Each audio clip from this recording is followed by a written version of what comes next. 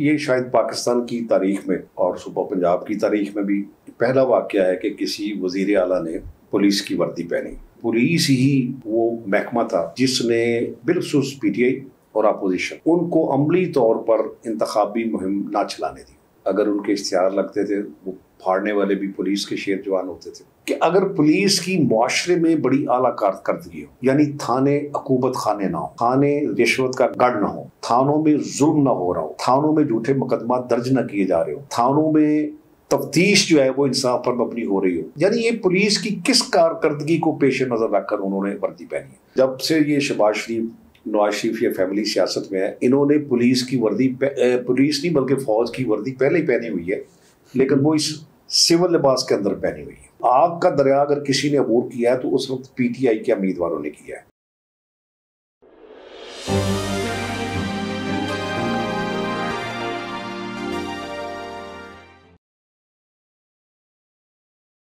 बिस्मिल्लाहिर्रहमानिर्रहीम। हमारे साथ हैं आसफ भली साहब।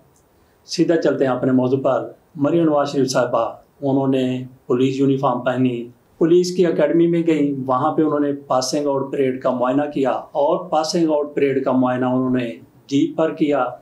यूनिफॉर्म पुलिस की पहनी हुई थी, शहबाज शरीफ साहब वज़ी अजम हैं। कल हो सकता है कि वो भी कहें कि मैंने काकूर जाना है, मैंने पाक फ़जाइया की किसी पासिंग आउट परेड में जाना है, नेवी की किसी ऐसे ही परेड में जाना है, मैं भी फ़ौजी यूनिफॉर्म पहनूँगा।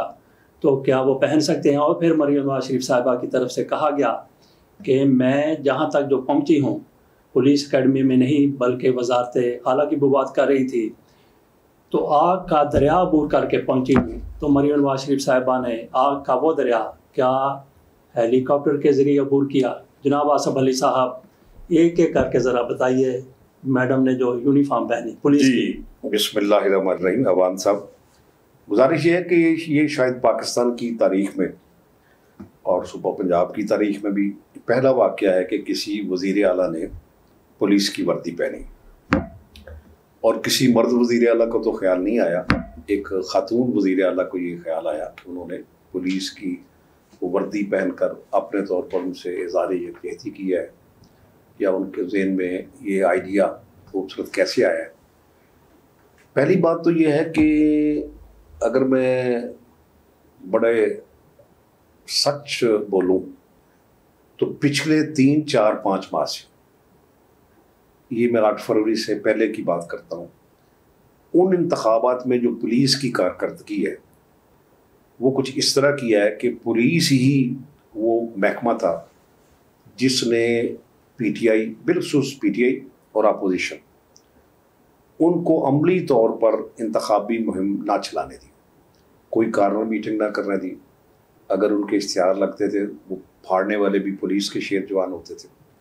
यानी कोई भी इंतबात के हवाले से जो एक्टिविटी थी पीटीआई की, उनको ना करने का सेहरा वो पंजाब पुलिस के साथ और मैं ये समझता हूँ कि अगर तो पंजाब पुलिस की उस शर्मनाक कारकर्दगी को वो अपने तौर पर शानदार कारकर्दगी साबित करना चाहते हैं तो उन्होंने पुलिस के उस किरदार के साथ अगर यक, इजार यकजहती किया है तो फिर तो शायद उनके नज़दीक ये जवाब दुरुस्त है कि पुलिस की वर्दी उन्होंने पहनी। अब दूसरी बात मैं ये भी अपना कहना चाहता हूँ, अवान साहब, कि ये जो आपने फरमाया कि अगर शहबाज शरीफ साहब ककूल अकेडमी में जाएँ या फौज की किसी और तकरीब में जाएँ तो क्या अगर वो भी इस खाश का इजहार करें? तो मैं वैसे अर्ज़ करता हूँ कि जब से ये शबाज शरीफ, नवाज़ शरीफ या फैमिली सियासत में है, इन्होंने पुलिस की वर्दी पुलिस नहीं बल्कि फ़ौज की वर्दी पहले ही पहनी हुई है, लेकिन वो इस सिविल लिबास के अंदर पहनी हुई है। अब देखें ना, अगर ज़ियाउलक साहब ने ये दुआ की थी कि मेरी उम्र भी नवाज़ शरीफ को लग जाए तो पुलिस फ़ौज की वर्दी में मलबूस वो जर्नैल जिसने साढ़े आठ नौ साल तक मार्शल को बरकरार रखा फिर गैर जमाती इलेक्शन करवाए, फिर गैर जमाती इलेक्शन के नतीजे में जो गवर्नमेंट बनी, उसको भी उन्होंने दो अढ़ाई साल बाद ख़त्म कर दिया, तीन साल बाद ख़त्म कर दिया। तो ज़ाहर है, और फिर वो जब इस दुनिया से रुखसत हुए तो वो फ़ौज की यूनिफॉर्म में रुखसत हुए। तो वो अगर नवाज़ शरीफ साहब को अपने उम्र और अपनी ज़िंदगी भी दान करना चाहते हैं, उसके लिए दुआ करना चाहते हैं तो उन्होंने यकीनन महसूस किया होगा कि इन्होंने वो इस सिविल लिबास के नीचे वर्दी पहनी हुई है। तो ये तो इंतहाई मज़ाक करने वाली बात है, इन्होंने बहुत ज़्यादती की है। और फिर एक और बात, कि अगर पुलिस की माशरे में बड़ी आला कारकर्दगी हो, यानी थाने अकूबत खाने ना हो, थाने रिश्वत का गढ़ ना हो, थानों में जुल्म ना हो रहा हो, थानों में झूठे मुकदमा दर्ज ना किए जा रहे हो, थानों में तफ्तीश जो है वो इंसाफ पर मबनी हो रही हो तो फिर तो पुलिस यदि अपना फ़र्ज़ दयानतदारी से अदा कर रही हो तो फिर भी उन्हें खराज तहसीन पेश करने के लिए इस वर्दी पहनकर उनसे इजार यकजहती किया जा सकता है। यानी ये पुलिस की किस कारकर्दगी को पेश नज़र रखकर उन्होंने वर्दी पहनी है?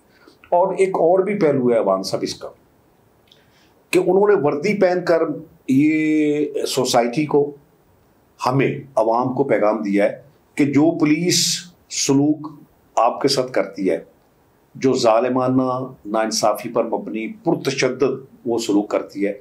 मेरा भी वही तर्ज अमल होगा आपके साथ, अपोजिशन के साथ, अवाम के साथ। तो मुझे तो यही महसूस होता है कि उन्होंने वर्दी पहनकर हमें ये पैगाम दिया है कि मैं भी इस पुलिस की वर्दी में मुझे समझा जाए और मेरा भी तर्ज अमल अब तीसरी बात, उन्होंने कही उनकी एक सहेलियाँ जो तीन चार उन्होंने अपने इर्द गिर्द इकट्ठी की हुई हैं, उन्होंने ये कहा है कि उन्होंने पुलिस की वर्दी पहनकर पुलिस की शान और शौकत पे इजाफा की है पहली बात तो यह है कि पुलिस की जो ऑलरेडी माशरे की नज़र में, अवाम की नज़र में शान और शौकत है, वो आपके सामने यहाँ है। और दूसरा यह है कि इन्होंने यूनिफॉर्म जो पहनकर उनकी शान और शौकत में इजाफा क्या करना है?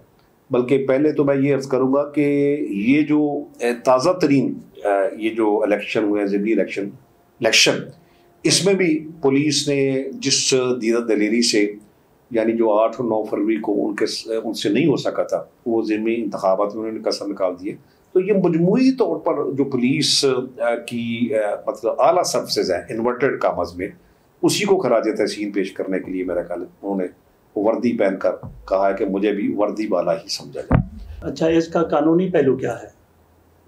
देखिए कानूनी पहलू तो ये है कि मैं ये समझता हूँ कि आप पुलिस की वर्दी बिल्कुल नहीं पहन सकते। अब फर्जन पुलिस की वर्दी छोड़े।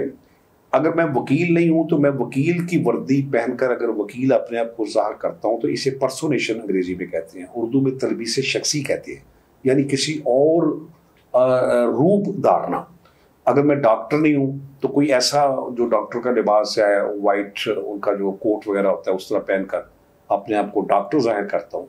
या कोई भी मतलब मैं साफ़ी नहीं तो साफ़ी ज़ाहिर करता हूँ। मैं मतलब किसी महकमे में मुलाजिम नहीं हूँ। कोई आम अदना सा चपरासी भी हो तो यानी मैं अगर वो उस महकमे का मुलाजिम नहीं तो अपने आप को ज़ाहिर करता हूँ तो दिस इज़ पर्सोनेशन अब वो कह सकते हैं कि नहीं हमने तो एक आलान या सीधे मैंने अपने आप को पुलिस का तो नहीं ज़ाहिर किया लेकिन आफ्टर ये कोई ड्रामा करने की या इस तरह की एक्टिविटी की क्या ज़रूरत थी? किसी भी एतबार से। ना तो पुलिस की कोई ऐसी कारकर्दगी है। देखे ना या तो वो उस लिबास में इसलिए आए कि ये मेरे लिए एक बाश फ़ख्र बात है कि मैंने पुलिस की वर्दी पहनी। क्योंकि पुलिस जिस तरह एक गर्ल गाइड कोई होती है कुछ स्काउट होता है ये स्काउटिंग के हवाले से बात कर प्रेसिडेंट ऑफ़ पाकिस्तान भी वो स्काउटिंग वो एक स्काउट का जो होना है वो एक समाजी खिदमत की अलामत है। तो या तो होता है ना को, कोई अब्दुल सर ऐदी का लिबास बंदा पहन ले कि एक समाजी कारकुन का ये उनका लिबास था उसी की तरह मैं टोपी पहन लेता हूँ कि मैं वो एक मैं उनको अपना आइडियल समझता हूँ। तो पुलिस तो कोई ऐसी मतलब उसका कोई मिसाली छोड़कर कोई किरदार ही नहीं है कि जिसको आप खराज तहसीन पेश करने के। लिए या तो ये कह मैं समझता हूँ कि मरीम नवाज़ शरीफ और पुलिस दोनों का एक जैसा किरदार है और उन दोनों को किरदार में जो मुताबकत है उसका इजहार के लिए उन्होंने पुलिस की वर्दी पहनी मुझे तो यही समझ आया। अच्छा कुछ लोगों की एक तरफ़ से कानूनी कार्रवाई के हवाले से बातें की जा रही हैं। तो इसमें कौन सा जुर्म हो गया? मरीम नवाज़ शरीफ साहब को क्या सजा मिलेगी? बहरहाल उन्होंने शोखी मारने के लिए ये वर्दी पहन ली। आपने कहा कि एक दूसरा सवाल वो मेरा सवाल ये था कि मरीम नवाज़ शरीफ साहबा ने कहा कि आग का दरिया अबूर करके मैं यहाँ तक पहुँची। कौन सा इन्होंने आग का दरिया अबूर किया? मैं अर्ज़ करता हूँ कि आग का दरिया तो ज़ाहिर है अपोजिशन अब ज़रा गौर फरमाई कि जो तीन चार महीने थे उस दौरान में बहुत सारे उम्मीदवार तो अपना अवान साहब वो थे कि जो अपनी इंतबी मुहिम में हिस्सा नहीं ले सके। यानी उनको इंतबी मुहिम में हिस्सा लेने की इजाज़त इसलिए भी नहीं थी कि तीस तीस चालीस चालीस मुकदमा उनके खिलाफ दर्ज किए जा चुके थे। वो उनमें एब्सकांडर करार दिए जा चुके थे। और उसके पीछे फलसफा ये था कि ये इंतबी मुहिम में शामिल ना हो सके। यानी आग का दरिया अगर किसी ने अबूर किया है तो उस वक्त पीटीआई के उम्मीदवारों ने किया है।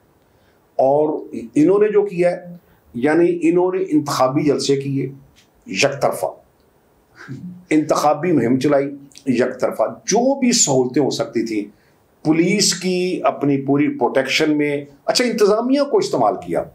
पुलिस को पटवारियों को सरकारी मुलाजमीन को और को हर तरह की जो ये जो निगरान गवर्नमेंट थी वो एक किस्म का मुस्लिम लीग नून की अपनी हुकूमत थी बल्कि उससे भी ज़्यादा। जैसे होता है ना शाह से ज़्यादा शाह के वफादार। अब तो हर चीज़ नेकट हो गई ना कि वही बंदा इस वक्त भी जो वज़ीर दाखिला बना है मोहसिन नकवी वो मुस्लिम लीग का इस वक्त भी चार आने का मेंबर नहीं है। इस जमात में शामिल नहीं हुआ। इसी तरह वाटर साहब वहाँ शामिल नहीं हुए। और इसको यहाँ मुस्लिम लीग ने वोट देकर सेनेटर बना, बनवाया है। और वहाँ वो वाटर साहब ने भी तकरीर किया कि मुझे एम क्यू एम और पीपल्स पार्टी वो अभी तक पीपल्स पार्टी में शामिल नहीं हुए। या एम क्यू एम में शामिल नहीं हुए। ये अब इससे अंदाज़ा करें कि किन के ये उम्मीदवार थे किन के कहने पर मुस्लिम लीग नून ने वोट दिए किन के कहने पर पीपल्स पार्टी ने।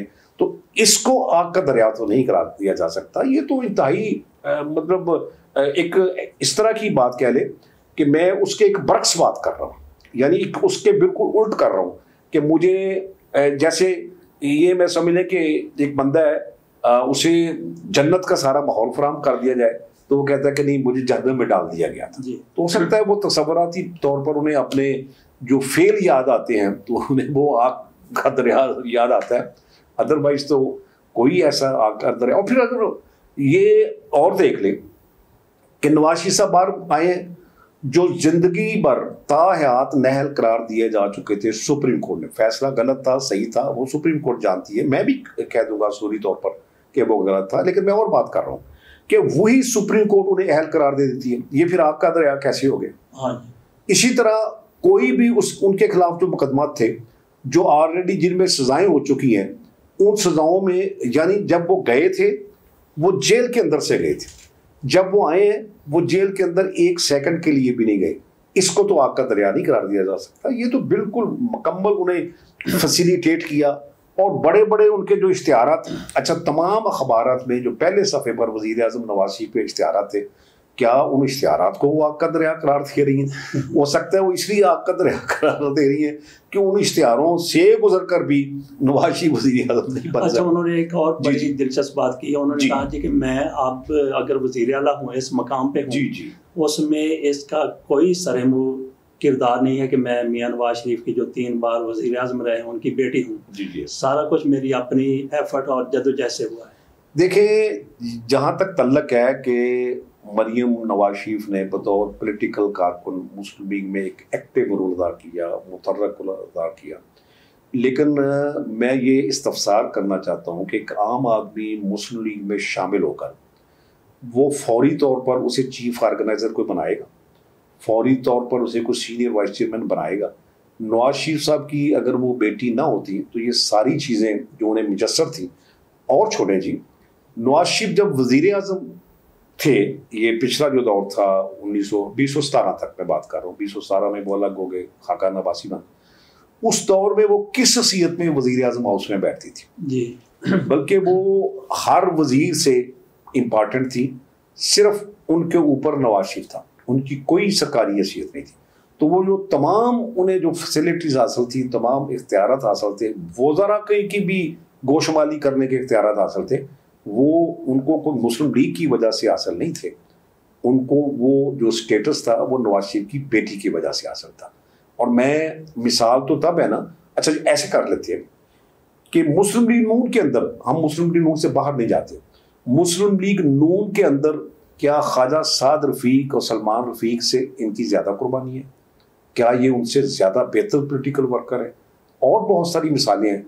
जिन लोगों ने कैदोबंद की सोबतें भी मुस्लिम लीग जब अपोजिशन में थी। चौथी निसार। बिल्कुल बिलाशुर बल्कि इनका जो है मतलब ये जो कहती हैं कि मैंने सियासत में बड़ी कुर्बानियाँ या मेहनत से और काविश से और मुझे कोई फेवरेटिज्म नहीं। पहली बात तो यह है कि चौधरी निसार आपने नाम लिया और शाहिद खकान अबासी जो सबक वज़ीर अजम भी हैं जो ठीक है नवाज़ शरीफ ही ने उन्हें नामजद किया तो वज़ीर अजम बने लेकिन वो लोग मुस्लिम लीग नून से दूर हुए ही इस मरियम नवाज़ की वजह से। जब इन्हें सीनियर नायब सदर बनाया गया तो साथ ही उन्होंने शायद खकान अब्बासी जो भी उनके पास अहदा था उन्होंने उससे अलीहदगी इख्तियार कर ली। यानी उन लोगों के नज़दीक भी मरियम नवाज़ को जो अहमियत दी गई थी वो उनका सिर्फ़ बेटी होना। और इसको जुटलाया ही नहीं जा सकता। अगर वो जुटलाती हैं तो ये एक खिलाफ हकीकत बात है इसका हकीकत से कोई तलक नहीं। जी भली साहब बहुत बहुत शुक्रिया।